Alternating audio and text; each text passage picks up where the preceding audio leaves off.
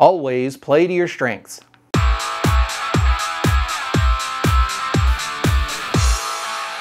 Hi, it's Eric Byrd with your Pitch for Success 30 second networking tip. Authenticity is important when you network, so just act naturally.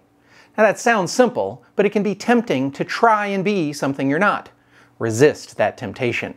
If humor works for you, then joke around. If it doesn't, don't. You'll find that conversations flow more naturally if you're not thinking about who you're trying to be, and just be yourself.